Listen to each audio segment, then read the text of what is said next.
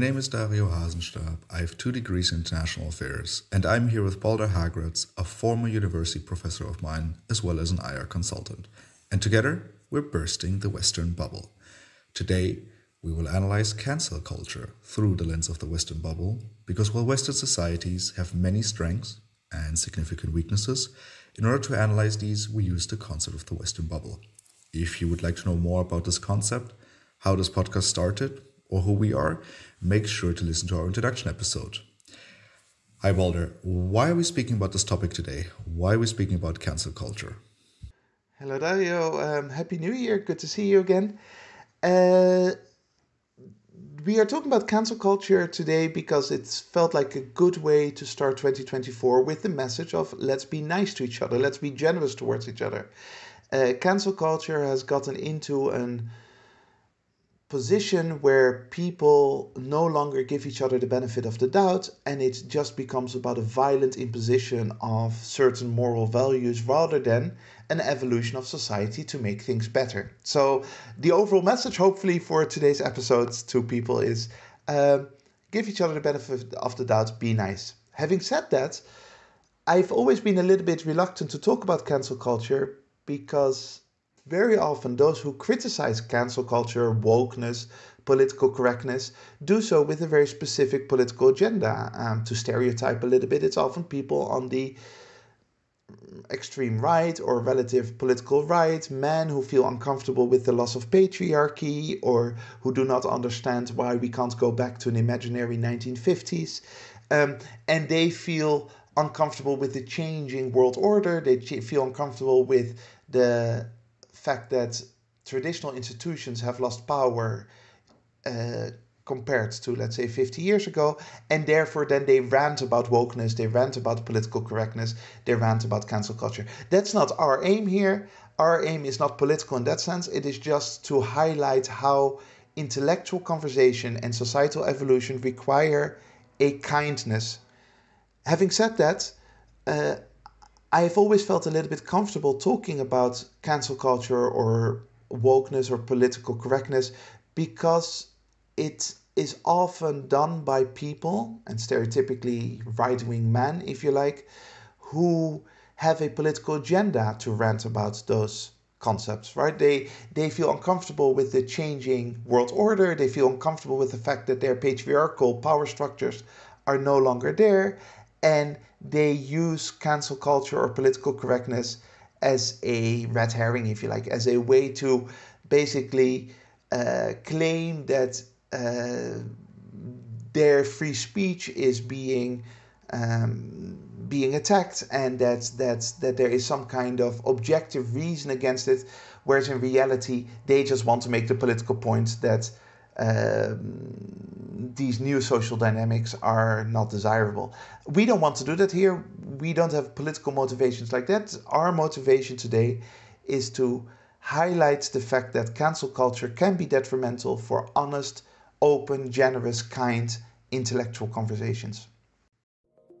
And what are the facts?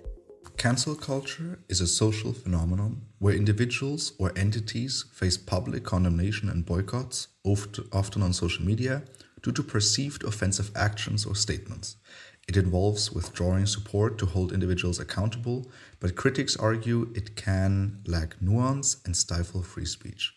Around 2015, the concept of canceling had become widespread on Black Twitter to refer to a personal decision, sometimes seriously, sometimes in jest, to stop supporting a person or organization. After numerous cases of online shaming gained wide notoriety, the term cancellation was increasingly used to describe a widespread outrage online response to a single provocative statement against a single target. What is the bubble? So, when we're talking about this and kind of echoing what you just said in the introduction, um, this phenomenon of cancel culture is born out of social movements we are not against social movements, right? We're not, I mean, depending on the social movement, I might support, I might not support it. Um, but uh, like on the grand scale, right, we're, we're not talking about the ideology or the content behind cancel culture, but we are treating cancel culture here very much as a tactic, right? Um, and I, I, I kind of made a comparison about this in the lead up to this episode. And uh, listeners, please please let us know whether this comparison works. Um, you might remember our episode about terrorism, um, where we very much differentiate between terrorist tactics and someone or whatever could be terrorism, right? Because that's not defined and someone can't really be a terrorist. You can be someone who uses terrorist tactics. And here, uh, right, it's the same for me at least with regards to cancel culture, right? So you have a person um, who is engaging in the tactic of canceling someone, right? Of boycotting them or on a grander scale and getting other people to boycott that person as well in order to harm them, in order to exclude them from the conversation, in order to exclude them uh, from the public. Um, which then led to a very interesting conversation we had where in terrorism or when using terrorist tactics, you're being you're right you're a normal person. You you go about your business and at some point something in your life happens and you feel so strongly about an issue that a switch is being switched where you suddenly no longer feel empathy towards other human beings but you feel like you need to kill them. And then then you said that sounds interesting because there must something must happen within the lives of people who suddenly engage in the tactic of canceling others that they believe okay whatever they have said is so terrible that I need to now engage in the tactic of excluding them from society in that sense. Yes, exactly. So there is a very substantial difference between someone who just says, Hey, I have a problem with the way you phrase things, I have a problem with the way you do things. I am going to try to change your perspective, to I'm now going to hurt you I'm going to destroy you. I'm going to make you lose your job. I am going to get you out um, away from YouTube. Now, I, why the terrorism parallel um, analogy works well, I think, is that terrorism has been used by many different ideological perspectives. There have been Christian terrorists, uh, atheist terrorists, left wing terrorists, right wing terrorists, etc., etc. Uh, and the same with social movements. Social movements are a fundamental aspect of society, and it's the only way that society can grow, regardless of whether you agree with every movement or not. We love social movements, civil rights movements, women's um, emancipation, um, anti nuclear movements from the 1970s and 1980s. Those kinds of movements are very positive uh, movements to make society better. But the moment you then, just like with terrorism, believe that now your moral righteousness allows you to actually hurt other people who have a different perspective, hurt um, their family, hurt their livelihoods, that is the moment that something goes wrong inside of your head. Something goes wrong inside of your psychology, and you no longer see the other individual as a complex being that deserves kindness and generosity and respect. And that's when society goes awry. Right it's it's it's the same for example for the climate movement. So i'm sure that the majority of our listeners and the majority of the people out there will say that yeah we need to do something about global warming. It doesn't seem to be going too well for the planet earth right now. That doesn't mean that you endorse the last generation or the just stop oil or extinction rebellion movement who are very radical in their tactics of trying to convince others, right? And so for me, and also for the sake of this episode, that's how we're going to treat um, the the idea of cancel culture as well, right? Just as a tactic, we're not. Uh, we, well, we I mean, who are we to basically judge whether the movement that is using this tactic um, is a good or a bad one, right? I mean, it's as you said, it comes from the left, it comes from the right, it comes from all sides uh, of of society, and we're really just concerned about the tactic itself because it can be incredibly damaging. Absolutely. The one thing though that maybe needs to be clarified here is that if uh, Stop Oil just does something silly, um, like uh, throwing um, oil or something at a painting, which I don't think is particularly nice, that is still a long way away from destroying an individual's life, right? And uh, the fact that some movements need radical approaches uh, to basically be heard is not something new. The, the civil rights movement was radical in um, their marches in Iran, and that was a way for them to actually be seen and the media to cover them. Every social movement needs a certain bit of radicalism, but radicalism does not mean destroying another human being's livelihood or right to speak or anything like that. Which, to be honest, I didn't think that this actually existed until a few, I would say maybe two years ago, right? This phenomenon of cancel culture. I thought, you know, it's a your typical American cultural phenomenon that's receiving a lot of attention because it's the United States. I personally didn't take this very seriously, and I honestly, right, because the most popular example of cancel culture is J.K. Rowling's, right, the author of, of the Harry Potter books. And to me, she always seemed to be doing fine, despite people being angry about uh, angry with her on the internet. She seemed to be still selling her books and her movies and so on. Um, but if, uh, and this to me happened two years ago during my master's degree, uh, right, um, where I witnessed basically the attempt of cancel culture in person. Uh, it was in an economics class, um, and at my university, it was the case that the last lecture, the professor could always freely choose what to do. Right, there was no curriculum for that, and our economics professor um, decided to talk about inequality um, and he did so by going over various scientific studies that uh, studied inequality, um, right, left and right in different areas of society. And one of them uh, basically talked about um, how how the police stops uh, different ethnicities in the United States.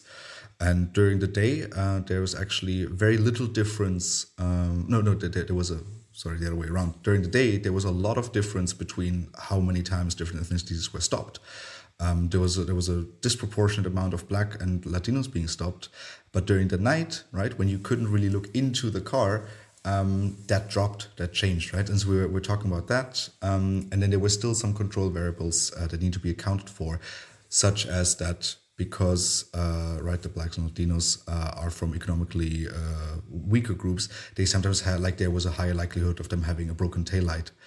And suddenly the class got really angry or certain elements in class got really angry at the professor basically saying oh you're reproducing stereotypes here. Um, and he's like no i'm not. I'm just reading the study um, and and students got really angry at him uh, and then went to the university leadership uh, to demand that this that this man uh, was no longer allowed to teach a course because he he dared to reproduce stereotypes right and that was the first time that i had experienced the attempt of cancel culture um, and uh, I mean, all I can say is that the professor uh, didn't come back to university. I don't know whether that was the reason or whether there were any other reasons.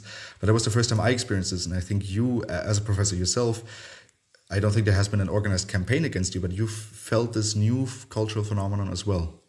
Sure, absolutely. And I would like to point out you mentioned J.K. Rowling before, but she's okay because she's a billionaire and she's got good lawyers and she's also very creative. So she can uh, she can stand her ground. But a single professor at a university doesn't have that power. So uh, that is when it becomes very dark. And in my in my case, I mean, like I said, I mean, I'm generally uh, without wanting to flex. Students seem to be happy with my courses. Um, and, and, and I'm not at all worried about being cancelled. But uh, even now, recently in course evaluations, students always have to submit course evaluations at the end of a course which is very good because they can give feedback, constructive, hopefully, uh, about what was good about the course, what was maybe less convincing about the course, etc., etc. And and literally, a student said something along the lines of, "the um, This was the worst professor ever. Uh, the university needs to reconsider uh, having him at university."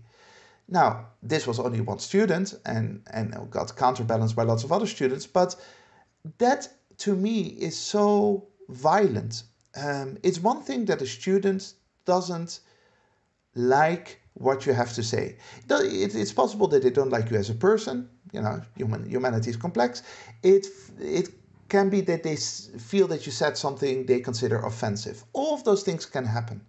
But to go from a professor saying something that you feel uncomfortable with too. I'm going to destroy this person's life. I'm going to make sure that he can't earn a living anymore because I'm going to tell the university to get rid of him is incredibly, incredibly mean spirited. Um, and there is there there's a very very big area in between where you can take other type of action. First of all, talk to the professor, say, "Hey, I felt very uncomfortable with what you said." Um, then Um, if that doesn't work, write a letter to the university saying, I've got a problem with some political biases in the university, or uh, please make sure that you do not just uh, promote one type of narrative. There are so many things you can do to improve, if you like, the intellectual conversation within an institution rather than trying to destroy someone's life. Now, I'm in the luxurious position that even if I were cancelled from the university, I would still have a job because the university is a side job for me. But still, the the point stands, right? Um, trying to get a professor fired is a sign of a world where people no longer show any kind of kindness or generosity towards the other, towards the other side. And that's cancel culture for you.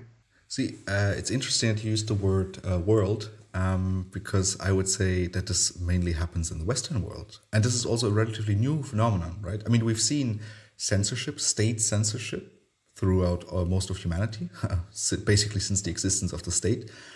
But the fact that this is now happening bottom up, right? That individuals are taking it upon themselves to correct or censor or cancel uh, others out there with with with a large group uh, behind them and and obviously with the help of technology that is a rather new phenomenon. And this i would say exclusively happens in the west or is an exclusively western phenomenon. And here the the question that's that's to be raised now is okay what does the west do differently than the rest of the world? And why is the west doing this? And hello welcome dear listeners. This is why we're talking about the western bubble um, so, Balder, what's right? Let, us let's, let's do John Stuart Mill. Let's do a, a most a most uh, different case study, basically, or most similar case study in this case. Um, what's the West doing differently to the rest of the world that maybe in a phenomenon like this may have emerged? Well, we can at least look at certain clear um, dynamics, right? Uh, one is liberalism, not liberalism in the 19th century sense of hey, we need to get rid of the old structures and all that, and we need to pay more attention to individual human well being. But liberalism gone awry, liberalism in overdrive, right? Where in some ways, if you go too far with liberalism, like as my father always said, everything in moderation, right? Liberalism in moderation is great. Capitalism in moderation is great. But if you go too far with liberalism or capitalism, what you do is you start worshipping the individual. Not just any individual, yourself. And you're no longer part of a community. You don't see yourself as one of 8 billion complex human individuals that are all trying to get along, that are all trying to get by, but you see yourself as the um, core component of um, of, of judgment of of well-being and you are competing with others in a extreme radical liberal capitalist society you uh, go into overdrive um, to, sort of to paraphrase nietzsche here elevating yourself as an individual to god status and that is incredibly Western because that leads to a complete lack of social cohesion. At that moment, you're basically alone against the rest. And at that moment, you become incredibly sensitive to anything that you feel doesn't fit within your own narrative. Someone says something that sounds shocking to you, oh, that person is a threat. Uh, rather than saying, hey, I live in a community, let's talk about this and let's see if we can find some common ground here. No, no, no, no, I need to get rid of that person because that person sounds scary to me, could be a danger to me. Uh, that is certainly a part of it.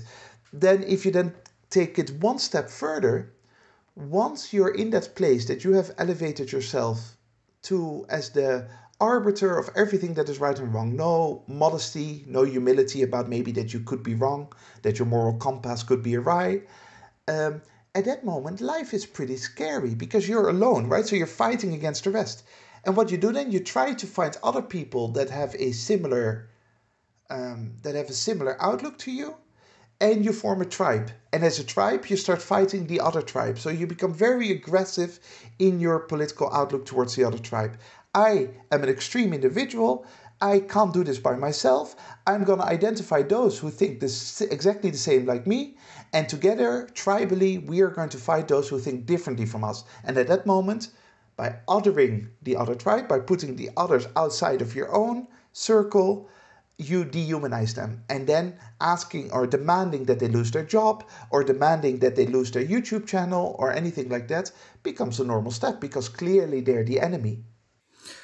This is almost a topic for a different episode. Um, the the lack of of social networks, right, and the original social networks, not the technology social networks, where you I mean, now particularly in the West, because of this liberalism gone mad, liberalism in overdrive, we have left our original social networks, which used to be the family or the little town you're in.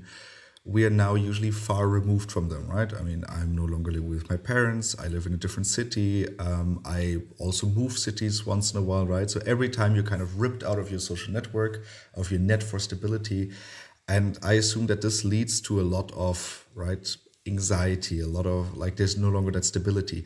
And we're living in a world like that, right? In the West, where we can no longer rely on our social networks. And that fear and that anxiety, right, that we are we're seeing and we're feeling, particularly within my generation. I mean, I I don't know whether it's now that we just talk about it more, but I feel like that around me, everyone has some form of anxiety, some form of trigger anxiety, and so on. And I think that this then combined with okay others are others are disrespecting me others are making me feel uncomfortable i am being disrespected then obviously you start lashing out because you want to protect yourself uh, in that way. You turn toward, uh, towards that extreme tribalism that you have described. And the ultimate form of this is then cancel culture right? So this would be my best guess of where this cultural phenomenon in the west has come from and I've, I've said this in the past. I am so grateful to have been to to grow up to become an adult in the 1990s. Not that in the 1990s everything was better. Um, you know, the, the, the, when it comes to sexism and racism and um, you know general patriarchal structures, 2024 is definitely better than the 1990s. But psychologically, it was just so much easier than it is for the new generation because of what we've been talking about.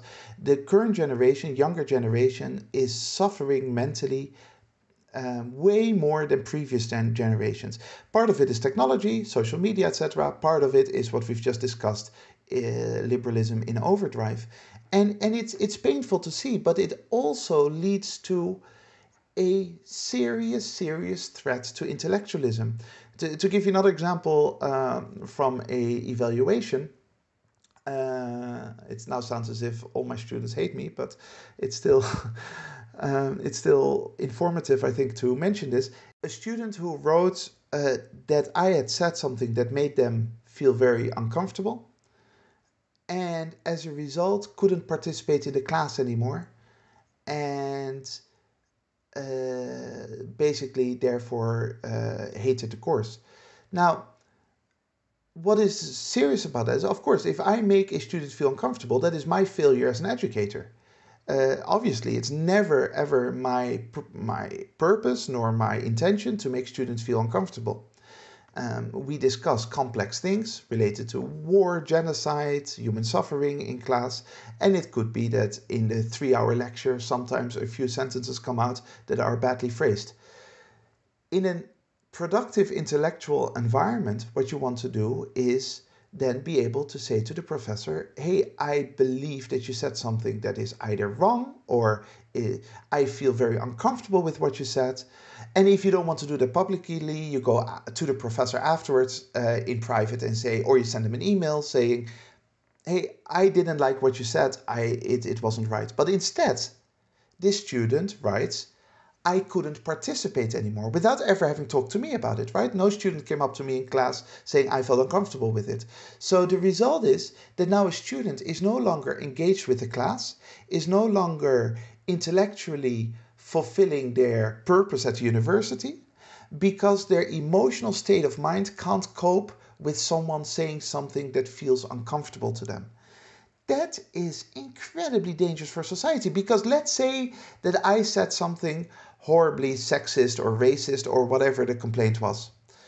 Um, then that is all the more reason to have a conversation about that and maybe to change my mind, right? To the students can absolutely change the professor's mind. Can say, hey, maybe you're not aware of this, Balder, but the way you phrase this is not right. It it it it feels antiquated or it feels bad or it feels uncomfortable. So that would be a productive outcome of this conversation of this situation.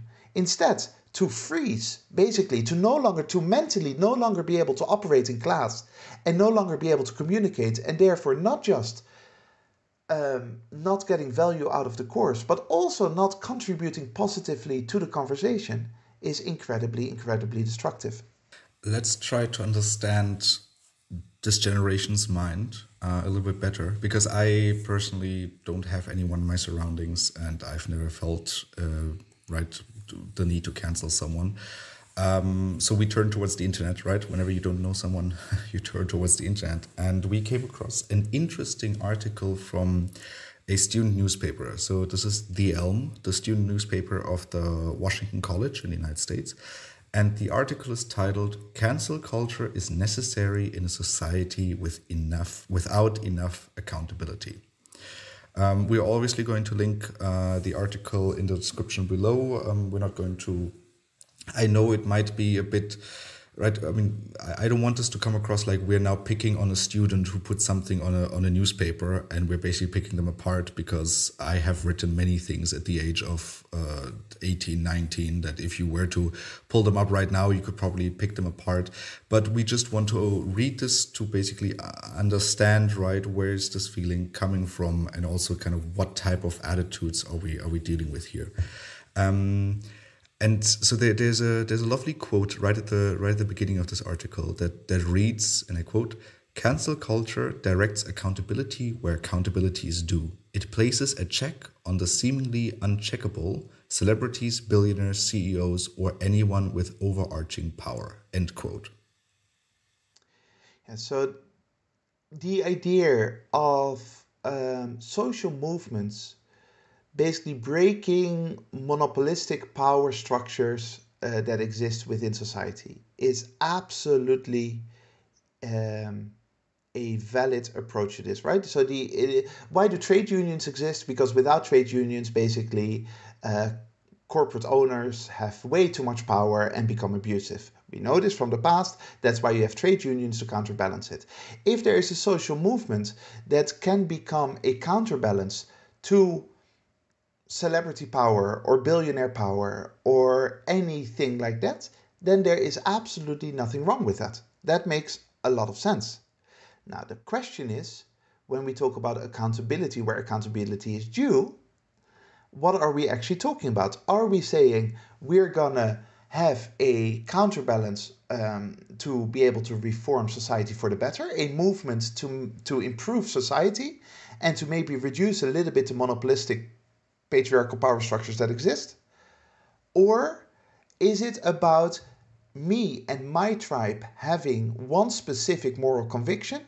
And if someone doesn't fall within that moral conviction, has a different moral perspective, we are going to get rid of them. We are not. It's not about holding them accountable. Accountable. It is about making sure that they can no longer speak. That's a very, very different thing. So if you have a celebrity who says something that you believe is racist, it's very good to call them out on that and say, let's have a conversation about that.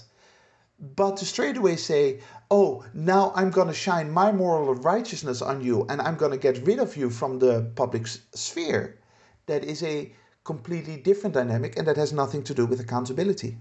Right. It, it includes the assumption that I know what's right and that has to be the ultimate truth. And this is also kind of uh, highlighted in the next quote, uh, and I quote When someone refuses to concede to political correctness, it highlights their refusal to acknowledge the pain and offense they have caused others. End quote.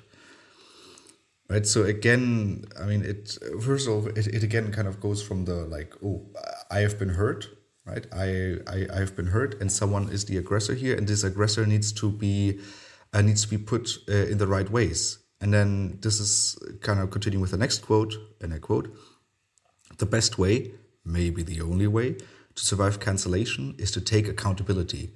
Cancelled celebrities should actively acknowledge their mistakes and receive the social punishment that is adjudicated. End quote.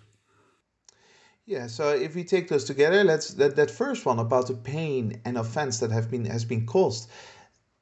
This goes back to the liberal mental anxiety that is taking place, right? People are very, very quickly hurt and offended by the words of others, which is already again intellectually dangerous. Um, we're not talking about you know psychological torture or physical assault. We're talking about words here that might or might not correspond to your moral framework. Um, and then to argue that if you hurt me, the only way for you to survive cancellation is to take accountability. What are you actually saying there? Well, it means that you have to acknowledge that I am morally right. It, it, it means that you have to basically copy my words, copy my moral convictions, and if you don't do that, then I will still cancel you, which is, of course, incredibly anti intellectual. To continue this, and I quote, cancel culture forces us to consider our actions before we execute them, end quote. So self censorship. Yeah, and, and once again, there is a significant difference here between, for example, breaking the law by physically or uh, psychologically assaulting someone there and to simply have a different perspective on the world, to have different convictions, even if those convictions might be racist or sexist or something else like that. The moment that you start applying a purity test and say, if you don't pass this purity test, you better close your mouth because otherwise you will feel the consequences, is the death of a vibrant, evolving society because it leads to a society where a few establish truth and no one else is allowed to question that truth. Um, so, this statement makes me feel uncomfortable to further participate in this podcast uh, because I might say something that uh, I will be cancelled for, right? I mean, you, you, you see the dynamic here. Um, and uh, and the last sentence is I I honestly believe is a masterpiece and it has to be studied in a further context. Balder, maybe you should include this in some university lecture in the future. I quote, it is time to start looking at cancel culture as a power check rather than something to fear. End quote. It is beautiful. Um, because if you right it, it sounds very orwellian in that sense could be could be taken out of 1984 and i i had the fun earlier to kind of replace cancel culture with other words right? So let's let, let's let's just imagine the chinese communist party uh, would would put out a statement it is time to start looking at the social credit system as a power check rather than as something to fear we would be we would immediately know oh this is this is some this is some scary stuff we we can this is this is not a good idea or if if putin were to say it is time to start looking uh, at at my power as a power check rather than as something to fear right you you you can continue this game with all types of groups out there that we we perceive as dodgy uh, this, this sentence is a, is a pure masterpiece. I think this, this should be taken and, and sold to authoritarian systems out there.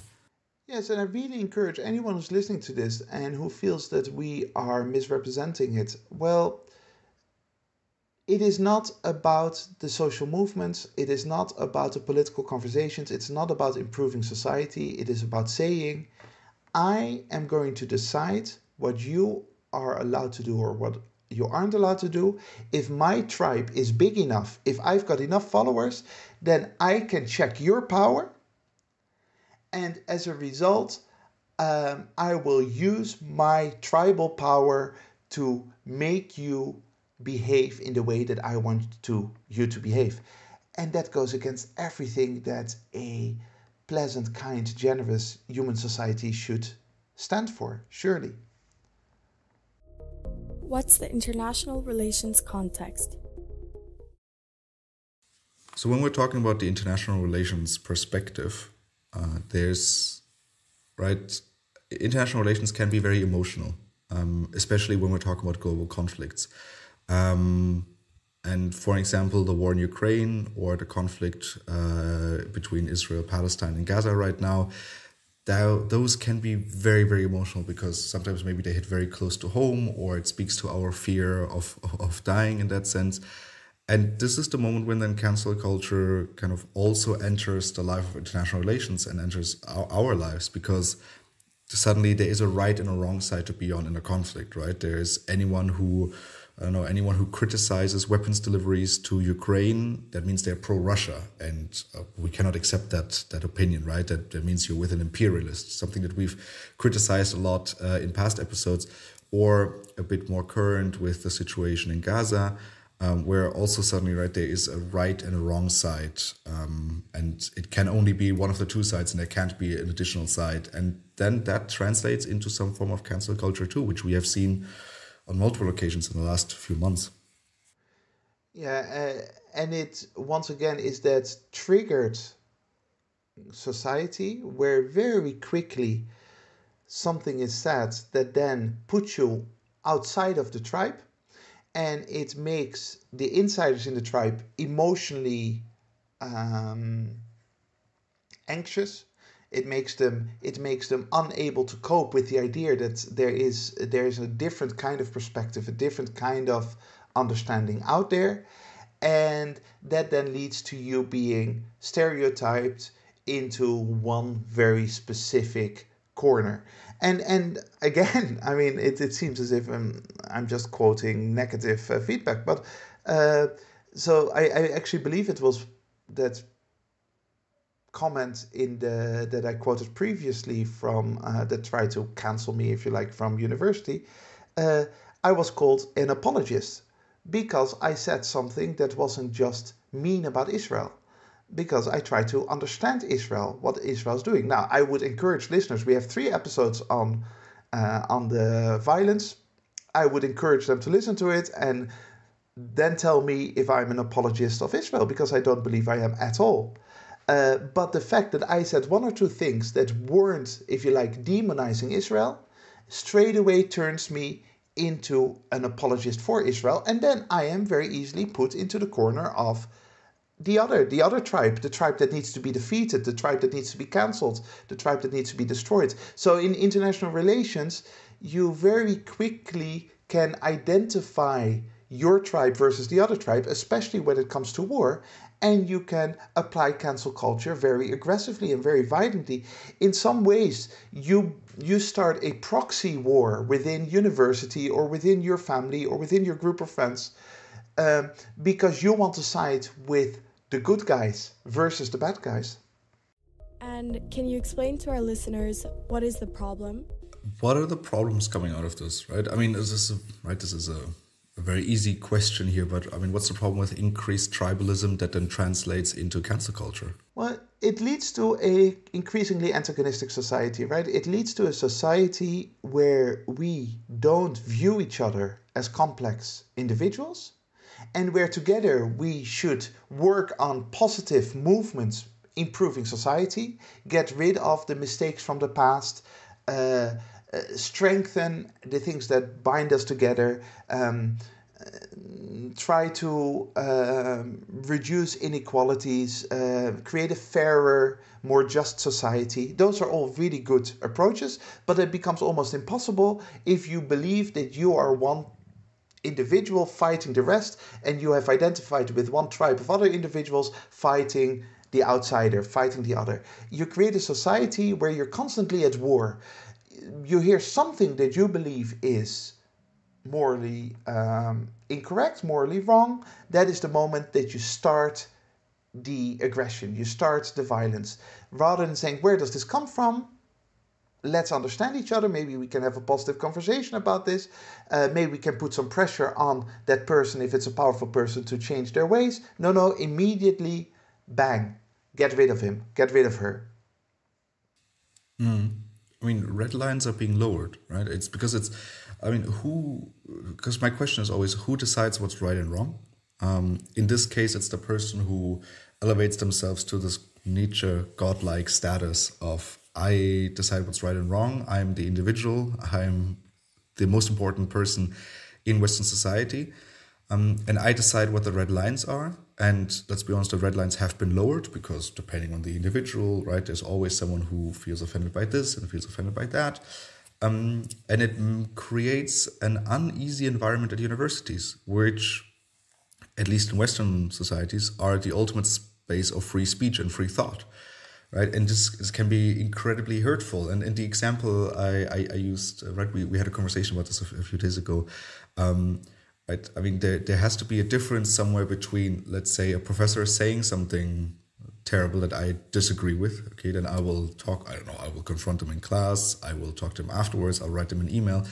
And there has to be a difference between, let's say, a professor sexually harassing a, a student, right? And then I would be the first one to to write very angry letters to to the university saying that hello, it, this can't happen, right? This is breaking a law. This is breaking, hopefully, a code of conduct, um, and this cannot be this cannot be happening. So uh, there should be the consequence that the system has designed, which should be that this person loses their job and can no longer uh, be a professor because they have disqualified them for doing so, but not by saying something that goes against someone else's opinion.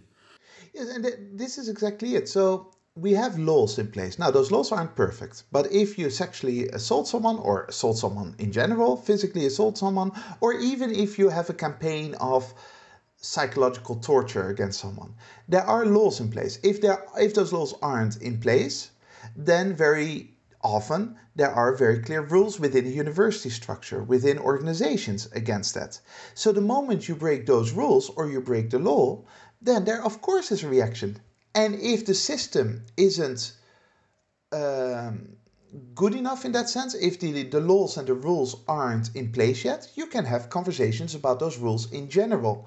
We should have clearer rules when it comes to, I don't know, harassment or against discrimination. All of that is part of an evolving conversation within society or within universities to improve our ways.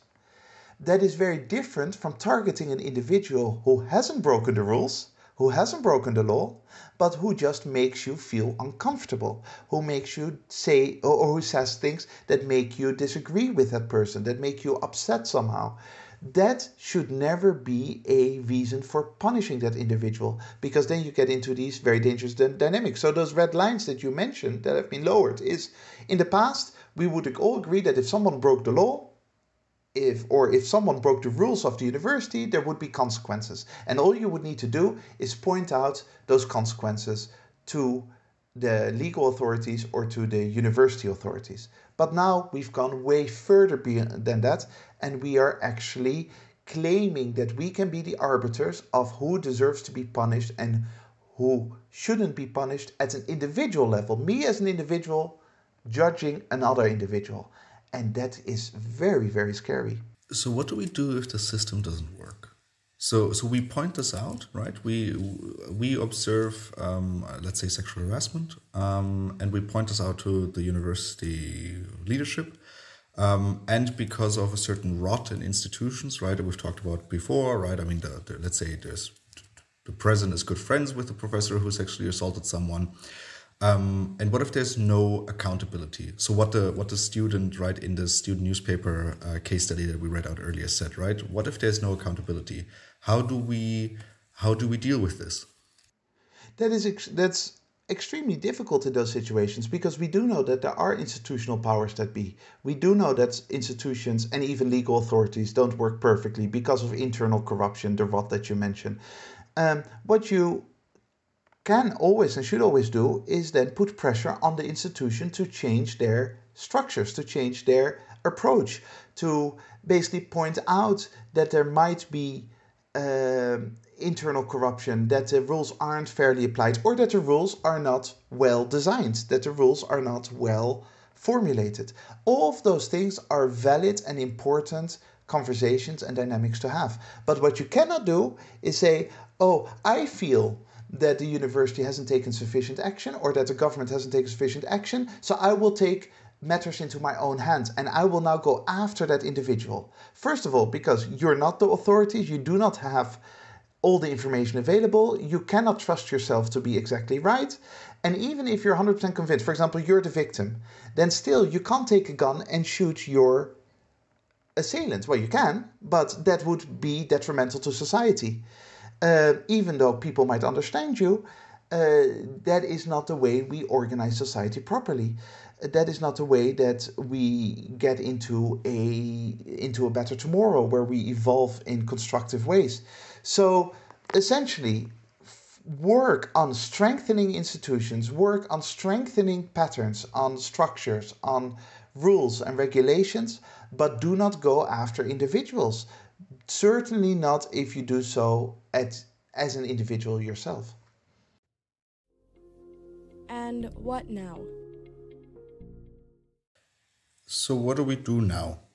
I mean, we have, we live in a world where this is becoming more and more prominent, where it's now, right? I mean, we, we, we've talked about this in the, uh, before that usually any form of social trends emerge in the United States uh, a few years before they emerge in Europe. So now this is also happening in Europe. I've experienced this at, at my previous universities. You've experienced this now. How do we get rid of this? Or, in other words, what's our New Year's message for 2024? Well, my my wish, which is not my message, but my wish would be that people um, go back to understanding that intellectual differences do not have to make you anxious, that someone saying things that you feel uncomfortable with intellectually or somehow uh, in terms of uh, morally doesn't mean that you straight away have to turn into panic mode and have to lash out against that person. That that's a wish. And sort of the message would be let's be kind towards each other. Let's be generous towards each other. Let's understand that we are all fragile human beings and we all sometimes say certain things that we don't mean. And sometimes we say things that we do mean because we have a different philosophical background. Or, you know, take, take any. Um, um, man certainly growing up in the 17th century, and they will have been horribly racist and horribly sexist, way more than your average man in 2024. Does that mean that they were despicable human beings? No. It just means that they were, if you like, a victim of their own surroundings and they were part of a mechanism that needs to be changed. So be generous to, to, to the other, be kind to the other, and, and if you believe that they are wrong, have that conversation with them or have that conversation in general if they intimidate you. Don't don't talk to them, but talk to your society and say, hey, is this the kind of approach that we want? Rather than trying to hurt the other the other person. This seems like a great moment to end today's conversation on cancel culture. If you have any questions, comments, or regards, make sure to send us an email to thewesternbubble at gmail.com and we will try to incorporate them in our following episodes. Thank you very much to the listeners for joining us today. Make sure to join us again next week when we burst the Western bubble. That is it from my side. Balder, which closing quote did you pick for us today? Well, it is a quote that isn't particularly original. In fact, if I recall correctly, I once quoted it before in the early days of this podcast, but it, it is absolutely the fundamental quote in uh, on the topic like today, which is by Voltaire, who said, I may not agree with what you have to say, but I will defend to the death your right to say it.